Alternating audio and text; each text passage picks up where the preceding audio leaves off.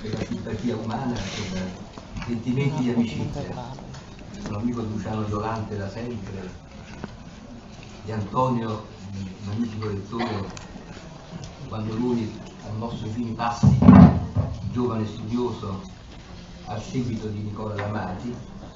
Io sono uno che non ho conosciuto Achille Donato Giannini perché pur essendo uno abbastanza anziano non sono abbastanza anziano da aver conosciuto Giannini. Però devo dire che Giannini per noi tributaristi è stato un po' quello che è stato torrente per i piratisti. Gli studiosi di giurisprudenza capiscono cosa voglio dire. O Antonisei per i penalisti. Noi è il manuale più, più corretto, più, più teorico. Giannini è stato l'entrata del diritto tributario nella teoria giuridica del diritto. Prima di Giannini c'erano dei simpatici cultori della materia, un po' economisti, un po' ragionieri, secondo se guardavano alla, alle, alle imprese o guardavano al diritto amministrativo, al diritto pubblico. Giannini è stato un grosso personaggio perché ha, ha sistemato il diritto tributario e forse proprio da lui è partito poi questa scissione tra la scienza delle finanze e il diritto finanziario e tributario, anche per ragioni di cattedre. Ehm, però devo dire ecco, che poi Nicola Lamati è un personaggio, c'è la figlia qui presente, unico perché è uno entusiasta, era un democristiano serio, come si dice, quei tempi quei seri, quello meno serio. Ma ci credeva nella politica, credo avuto anche degli incarichi politici, è stato anche segretario della DC pugliese, ed era uno con cui si capiva, si ragionava. Io appartenevo al, più all'area di, di Violante, però stavamo molto d'accordo con, con Nicola. Poi questa scuola l'abbiamo portata su insieme, insomma direi quasi, no? Perché siamo molto c'è questo problema no, delle aree eh, universitarie, aree accademiche, eh, aree anche di, di, influ- di, influenza, Bari, Roma stavano da parte, il nord stava dall'altra, e così un discorso che non è da lezione magistralis. E, e, e con la solita acutezza e sensibilità anche politica, il Magnifico mi ha detto ma parliamo di etica delle tasse. E in questo momento in cui c'è un po' di di problematica a livello della moralità, si parla di corruzione, c'è questo discorso sulle tasse che sono un fatto negativo, c'è un po' ritorno ai tempi del neoliberismo e del liberismo del passato in cui la tassa era un fatto negativo che un soggetto pagava per forza e se la pagava la pagava per, per autolimitazione del soggetto. Pagava perché il soggetto si dovuto pagare, non perché c'erano esigenze diciamo di tipo generale legate alle politiche fiscali di finanziamento del welfare. Allora siamo detti, ma perché non parli delle, delle tasse? Io mi sono sforzato a fare una, una, una lezione su questo tema, eh, che sarà più breve di quella di, di, di Luciano, eh, però insomma, forse molto sintetica. Mi sono posto il primo problema, il tema dell'etica fiscale può essere affrontato da due angoli usuali, dall'angolo del, dell'ente impositore, del fisco, e dall'angolo del cittadino. Quindi cioè, l'angolo del cittadino è quello che concorre alle pubbliche spese secondo la norma costituzionale consapevole di osservare un dovere etico più che di adempiere a uno specifico obbligo previsto dalla legge l'etica c'entra in questa soluzione, in questa visione del problema del contributo. Poi c'è invece il problema dell'ente, dell'ente pubblico che è deputato a realizzare politiche fiscali improntate ai principi costituzionali di uguaglianza, sia quella del primo comma, sia quella del secondo comma dell'articolo 3, cioè sia uguaglianza come non discriminazione, sia uguaglianza come ragionevolezza, coerenza, cose che avete studiato all'università per molti giovani, io non lo più a voi, e solidarietà. Io, chiaro, dal punto di vista del, del, dell'etica da cui il magnifico lettore mi ha chiesto, io occuperò di questo secondo aspetto, cioè l'aspetto del, del, dell'etica nell'ottica dell'interesse generale, dei fini da perseguire, come diceva e quindi la, eh, con questo diciamo, obiettivo eh, eh, dovrò parlare come premessa generale di quella che è la funzione del tributo in un contesto diciamo, costituzionale e nella società. Ora, quando mi sono messo a scrivere questo, questa relazione, mi sono posto nell'ottica di un cittadino italiano che anche se magari non è credente, però è stato, è stato abituato, ha studiato eh, eh, con riferimento ai principi del cristianesimo. No? Poi mi sono detto, ma non soltanto il cristianesimo, forse anche i principi socratici. Allora mi sono reso conto che eh, eh, siamo tutti cresciuti sotto l'insegnamento dei principi fondamentali del cristianesimo, la solidarietà, la sussidiarietà, società più origine cattolica che origine, origine comunitaria e origine diciamo cristiana più che laica. La garanzia del bene comune, basta che ricordate i tempi in cui studiavate al liceo la filosofia di San Tommaso, chi ha scoperto, è la tomistica che ha scoperto il bene comune, tutela del bene comune. E quindi se siamo tutti quanti così, diciamo, con questo insegnamento, non possiamo non sentire istintivamente in momenti specie come questi di crisi economico-finanziaria del paese, quindi momenti di crisi, che cosa? L'importanza dell'intervento pubblico dello Stato che è diretto ad arrestare la spirale delle disuguaglianze. Da questo punto di vista si può essere anche mercatisti, si può anche essere i più liberali possibili, ma in momenti come questi l'accento va posto sullo Stato che distribuisce, sullo Stato che tenta di superare le disuguaglianze, perché il mercato non ce l'ha mai fatta a superare da solo le disuguaglianze, anzi spesso le ha prodotte in momenti di crisi. L'esperienza della crisi americana è questa. Quindi non è necessario aver letto Socrate o essere cristiani professanti per convincerci della necessità non solo di accordarci sul significato di giusto, di bene, di equità distributiva. Dobbiamo anche riflettere sul fatto che deve essere rimesso a uno Stato diverso da quello del, del passato, uno Stato più mediatore, uno Stato distributore. A lui spetta di individuare il ragionevole disagio degli strumenti eh, appunto, perché una società sia più giusta, più buona e più equa nella libertà. Io non riesco a vedere un'altra via, ma in questo momento lo Stato ancora secondo me è importante, sarà pure in crisi il concetto di Stato, però il suo ruolo in momenti in cui c'è una, si allarga sempre più la forbice di disuguaglianza, Solo lo Stato può fare interventi così. Allora perché è importante?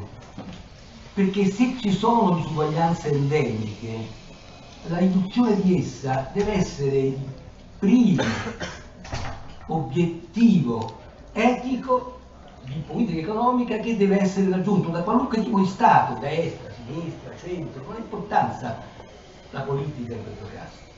Insomma, voi non so se avete letto, conoscete un grande, un grande politologo inglese che poi ha vissuto in America, che è morto due o tre anni fa di una bruttissima malattia, Tony Judd. C'è un bellissimo libro che ha scritto Guasto è il mondo. Se leggete quel bellissimo libro, lui dice queste cose. La disuguaglianza è la vera patologia dell'epoca. Bello come l'ha detto, sono cose abbastanza ovvie è una grave minaccia al buon funzionamento di ogni democrazia e la perdita del senso di fratellanza e della coesione sociale. La fratellanza, per quanto fatua, quale obiettivo politico, è la condizione necessaria della politica. Lo dice meglio lui tanti costituzionalisti di casa nostra, bravissimi tra l'altro. Allora da questo punto di vista si capisce che il tributo, come dicevo prima, è il più duttile insieme a spesa, per carità, spesa, degli strumenti che Stato ha a disposizione per superare queste disuguaglianze, specie quando queste disuguaglianze derivano dalle maggiori o minori disponibilità dei beni della vita e quindi realizzare i valori solidaristici. Insomma, stiamo nel campo del finanziamento del welfare state. Perché questo è importante? Perché dobbiamo far capire ai giovani eh, eh, eh, che è importante la funzione del tributo, dice. Perché è vero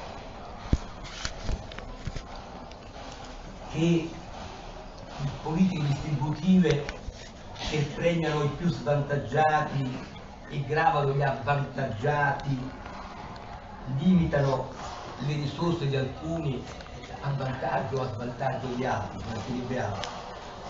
Se però esse, questi interventi, questo aspetto politico importante, hanno come effetto di medio e lungo periodo, non dell'immediato, c'è il discorso appunto che faceva Stano Volante sul fatto dei sondaggi che si preoccupano dell'immediato non del futuro, hanno l'effetto di medio e lungo periodo di proteggere i più vulnerabili, di migliorare la salute del paese, sanità, assistenza, di ridurre le tensioni sociali, di incrementare e livellare l'accesso di tutti ai servizi, dalla scuola al resto, servizi fino ad ora riservati a pochi, beh, allora il tributo non, non può negarsi che il tributo diventa, diciamo, eh, eh l'unico strumento che consente di raggiungere l'obiettivo di dare più equità, più sicurezza sociale e così via. Insomma, voglio dire, rispetto a quello che è stato insegnato anche recentemente a scuola e all'università, il tributo non è più, ricordate come si diceva, il premium libertatis, no? Oppure come dicevano Hobbes e Sustain, che erano gli, gli americani che erano di moda ai tempi della mia giovinezza, beh no, forse vent'anni fa, non è soltanto l'altra faccia negativa del costo dei diritti, no? Ricordate il costo dei diritti. E in un mondo disuguale come questo, cioè in questo momento, è lo strumento non repressivo che uno Stato deve gestire, uno Stato non meramente amministrativo, non uno Stato leviatano, per fare che cosa? Per correggere le distorsioni, le imperfezioni del mercato a favore di cosa? Delle libertà individuali e di quelle collettive. Questa cosa che dico a me sembra tutto banale, ti accettiamo, non è così perché c'è una buona parte del pensiero, eh, diciamo, liberale e anche di politica, basta guardare poi i giornali, per capire che non è senza. Tutto questo è importante perché sta nella nostra cultura. Sapete chi è Ezio Vanoni, voi giovani? È stato un, un cattolico è stato ministro delle finanze, era anche un professore di scienze delle finanze. Ecco, Ezio Vanoni, sulla scia del codice di Camaldoli, che è del 43 il codice di Camaldoli, quindi e avendo letto San Tommaso, evidentemente, perché era un cattolico, dice delle cose molto belle per far capire, questi, per, dare il senso di quello che vi ho detto. Lui dice che è inadeguato il mercato concorrenziale, c'è una inadeguatezza tanto ad affrontare i problemi dell'accumulazione e dello sviluppo equilibrato, problemi quindi attuali, quanto a produrre una ridistribuzione della ricchezza eticamente accettabile.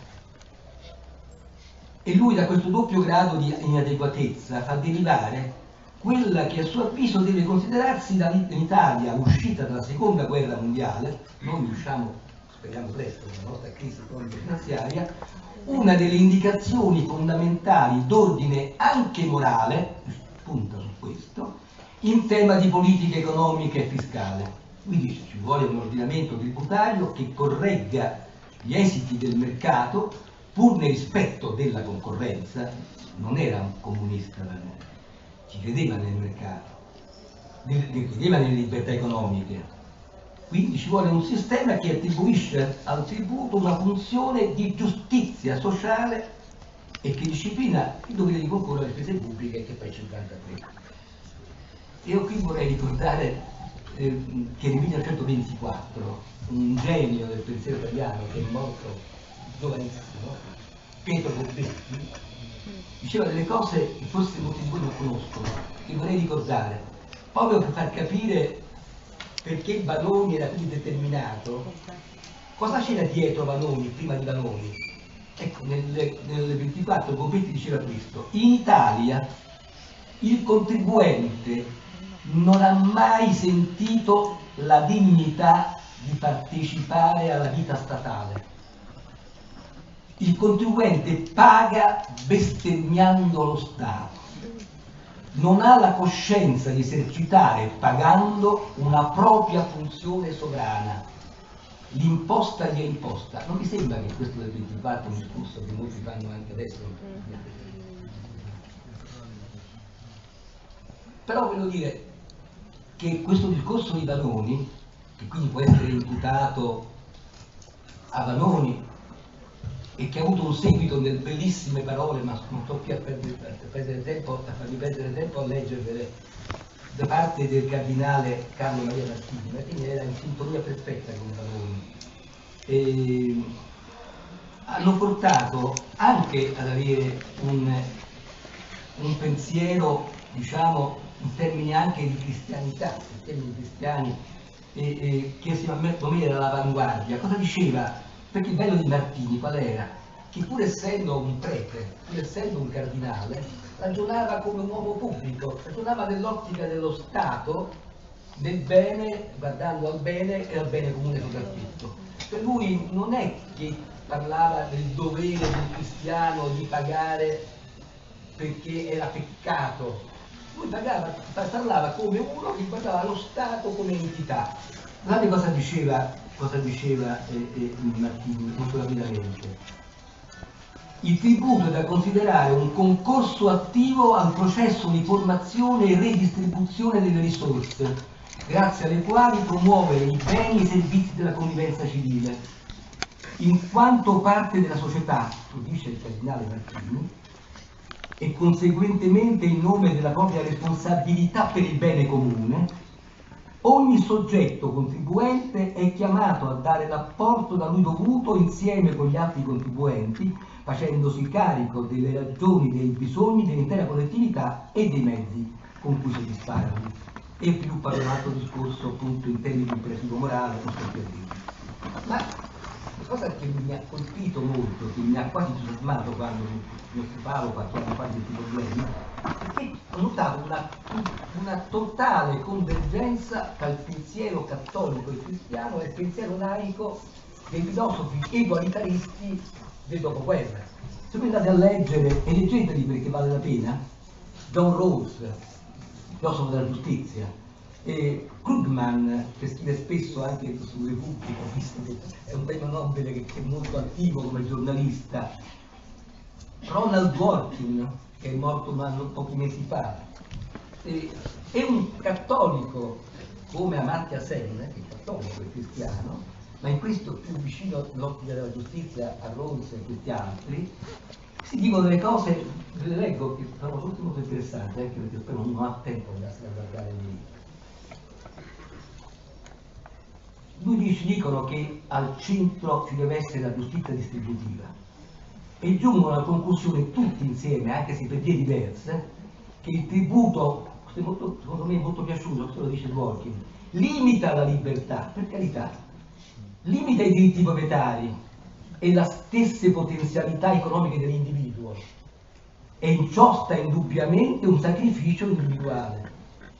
Per aumentare però la libertà stessa e il godimento dei diritti in ciò sta la funzione promotrice del tributo medesimo nell'ottica dell'equo riparto, detto prima, e nell'etica della responsabilità. Si capisce quindi che nell'ottica di questi autori, specialmente questi autori laici, qui sono qui laici che citano, è l'uguaglianza che sta al centro di tutto. E quindi è sull'uguaglianza che si fonda la legittimità etica dello Stato. Che se lo Stato pretende dai cittadini di rispettare le leggi, poi lì non può rimanere così uno Stato che non si muove, deve a sua volta essere coerente con quello che chiede e quindi dare, e qui deve essere un welfare state, non come fatto oggettivo, ma come soggetto che si muove per fare investimenti pubblici, sociali. Questo discorso arriveremo, vedete, porterà a fare riflessioni sulla recente sentenza della Corte Costituzionale su questi temi, sul bilanciamento tra diritti sociali, stiamo avvicinandoci e, e, e diritti economici, e diritti sociali. Andiamoci, andiamoci con calma. Quindi, se dobbiamo dare una definizione etica del tributo, dobbiamo prendere atto di, di un passaggio, di, un passaggio dallo Stato liberal, liberista settecentesco, ottocentesco, l'evoluzione che vi ho detto della nozione di tributo in senso solidaristico distributivo non consentono più di valutare sul piano etico morale come dicevo prima il tributo non è più possibile che sia una mera autolimitazione soggettiva. Non possiamo essere fermi, ricordiamoci dei nostri studi di filosofia al liceo, no? E fermi a Locke. Locke è stato un filosofo importantissimo perché era la reazione dei liberali verso il potere del, del, del re, del monarca per grazia divina, per cui allora il, il monarca era padrone anche dei segni della gleba e quindi la proprietà non c'era perché era del, del sovrano. Locke ha fatto un grosso passo avanti, ha detto che la proprietà andava a identificarsi con la persona, che il soggetto in quanto proprietario aveva una sua dignità. E però poi dopo ha avuto Jung, cioè c'è stato tutto il resto e noi siamo in questa fase. Cioè, voglio dire, che i diritti economici, i diritti proprietari non sono, come molti ancora dicono, preistituzionali, non vengono prima della legge, è la legge che li conforma, li organizza, li coordina e possono anche i diritti economici, i diritti proprietari che vanno rispettati per carità, dice la nostra Costituzione, anche se la seconda parte, vanno rispettati nel loro nucleo essenziale, ma possono essere anche limitati attraverso il tributo se il fine che si persegue è il fine appunto di finanziare i diritti sociali. Però molto sintetizzato perché il discorso sarebbe molto più lungo, ma mi sembra che, che sia chiaro il discorso sulla funzione del tributo dal vostro punto di vista. Questo cosa significa? Una cosa importante che è la conquista del pensiero politico in questi ultimi anni, dal punto di vista del diritto pubblico. Cioè significa che giustizia e ingiustizia, mettiamo nella tassazione ma anche nella spesa, dovrebbe significare giustizia e ingiustizia in un sistema legale, convenzionale, di diritti proprietari, diritti economici, diritti dei tributi, potere di imposizione quindi il regime legale della tassazione, insieme ai diritti economici, crea il sistema. Non c'è qualcosa che viene prima o che viene dopo. Quindi io mi domando, anche polemicamente verso quelli che ancora invece sono in termini diversi, se così non fosse, cioè se la legge non, non fosse essa a dover bilanciare la legge, non, non il giudice, la politica può sbagliare, ma la, tocca alla politica bilanciare i diritti sociali con, con, con i diritti economici. Se non avessimo questo sistema, noi non correremmo forse ancora il rischio di regredire a un modello prepotente, al modello precedente alla rivoluzione francese. Cioè, se non avessimo questo che ho detto finora, avremmo una società senza coesione sociale, senza considerazione dei rapporti interpersonali, avemmo una scarsa, quasi nulla formazione di capitale umano. Guardate che importante il tributo, la questa distributiva in questa ottica. Dobbiamo avere una visione globale, d'insieme, la spesa, il tributo, i diritti, che deve essere il Parlamento, la politica a dover poi dargli un senso. Non ci riesca, è un altro discorso, ma non tocca né ai giudici né a noi, noi col voto possiamo spingere, cambiare lo stato delle cose. Allora, quale situazione avremmo oggi? Di quale libertà godremmo se attraverso l'intervento pubblico non si fosse promossa l'equità di quelli che gli economisti chiamano eh, lo scambio fiscale. Insomma, non per nulla negli ultimi vent'anni i grandi pensatori hanno da, posto l'accento sui diritti presi sul serio. Eh, eh, Isaia Berlin, Substein, questi grandi, almeno quelli con cui mi sono eh, ispirato da ragazzo quando ho fatto i miei studi, hanno puntato l'accento su questi aspetti questi aspetti del contemperamento.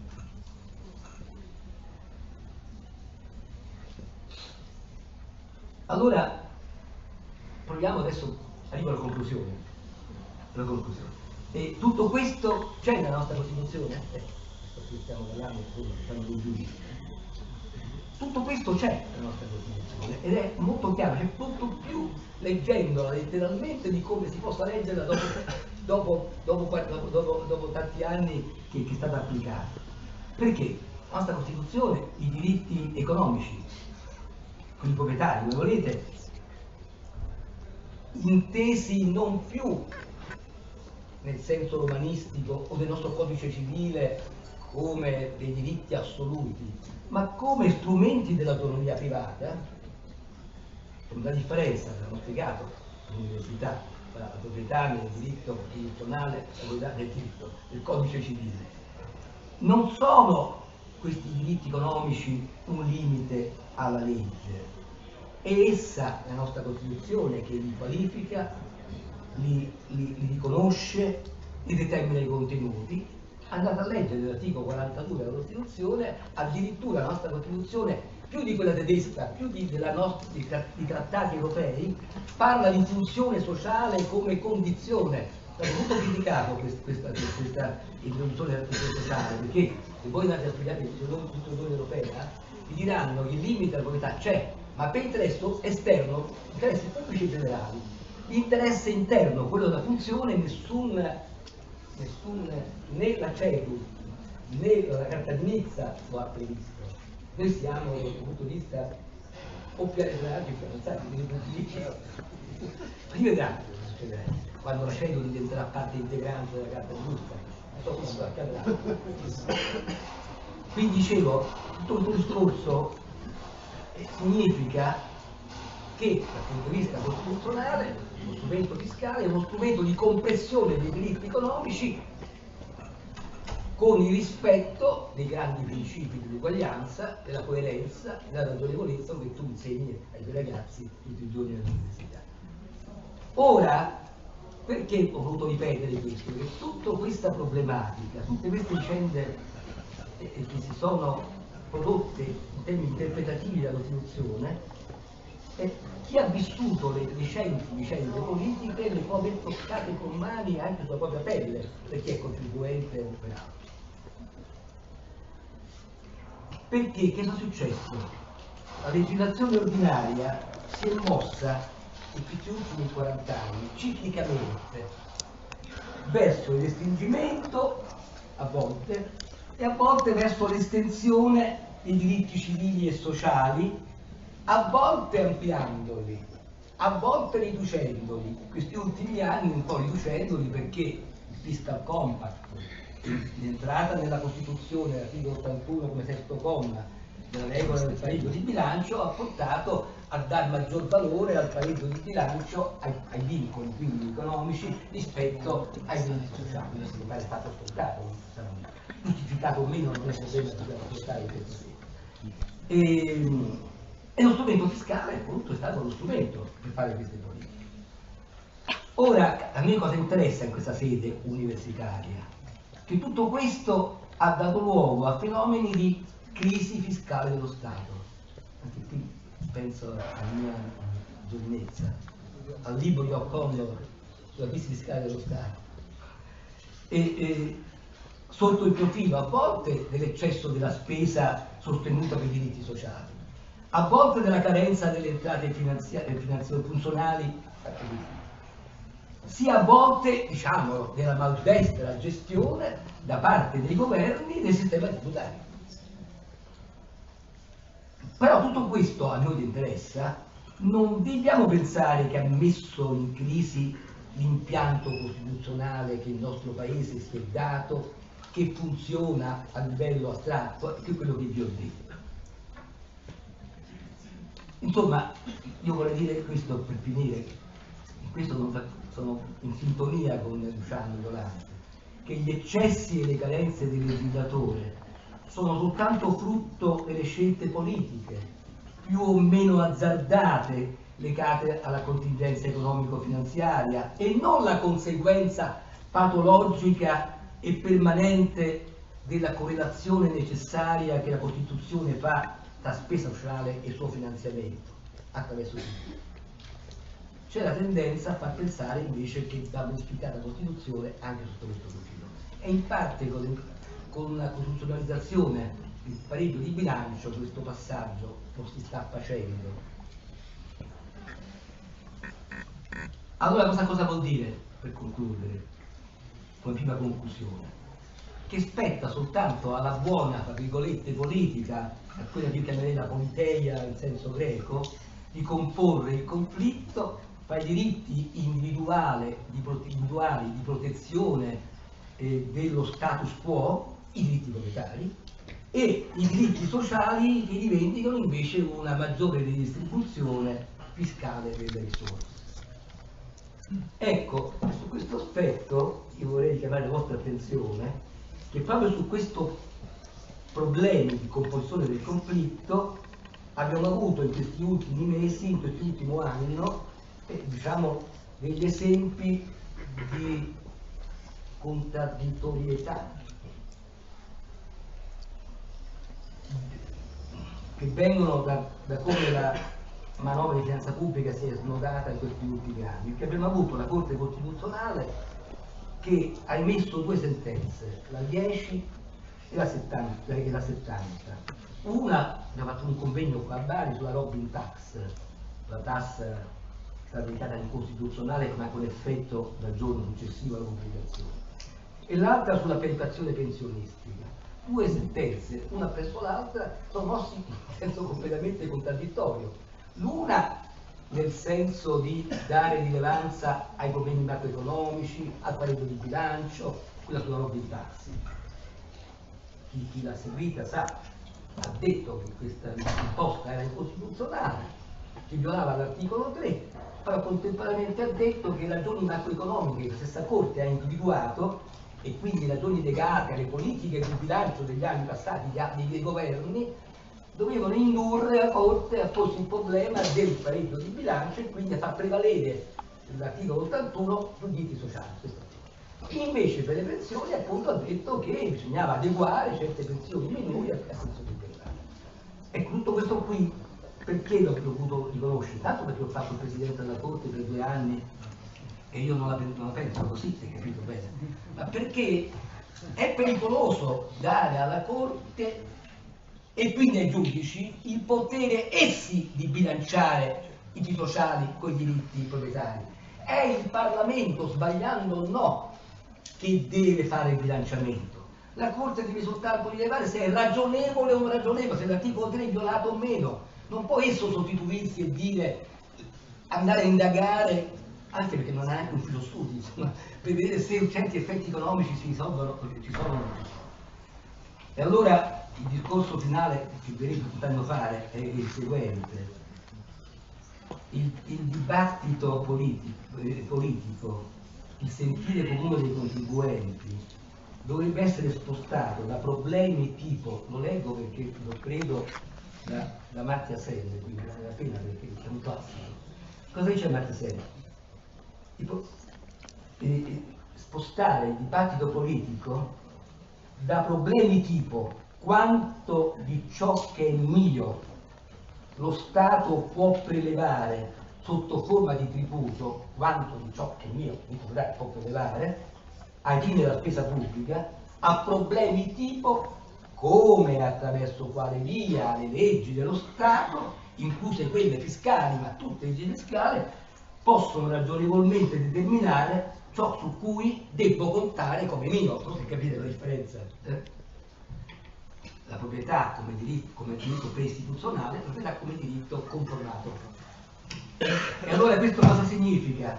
Un'ultima cosa, e ho finito, che tutte le, le strategie, seppur apprezzabili, fiscali, dirette alla riduzione del gettito, perché saranno tutti quanti favorevoli all'uso, non sono mai avuto anche che sono ho avuto le pensioni d'oro, quindi si parla, e, e, ehm, tutte queste apprezzabili strategie non devono essere adattate, adottate solo per, ricordate la frase the beast, per affamare la bestia, cioè io affamo la bestia così spendo di meno. Non deve essere la riduzione strumentale alla spesa, alla spesa. La spesa secondo me ancora è pubblica, è importante, è sacra, ci connota rispetto agli africani, rispetto agli altri stati, agli altri paesi, è cruciale ai fini della realizzazione di una virtual community. Quindi non possiamo troppo spingere ai fini della riduzione della spesa sulla demografia, sulla sanità, sulla sicurezza, il che significa che la spesa pubblica va contenuta, va riqualificata, va razionalizzata, ma solo perché eccessiva e inefficiente, non perché ce lo impone il fatto che non abbiamo le entrate. E anche la, il, la pressione fiscale, certo che è eccessiva, ma va ridotta in dipendenza della riduzione della spesa, della sua ripartizione, della lotta all'evasione. Non se ne esce fuori da questa regola, credetemi. Ho finito.